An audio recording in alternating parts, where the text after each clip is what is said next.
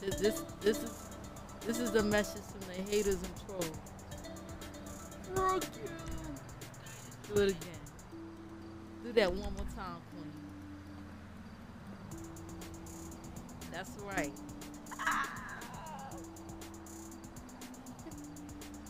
Stun on them. Stun on them. Do it again. That's for you haters.